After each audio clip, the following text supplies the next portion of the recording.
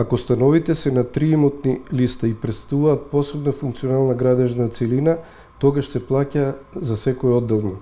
За резервниот фонд секако се плаќа од метар квадратен.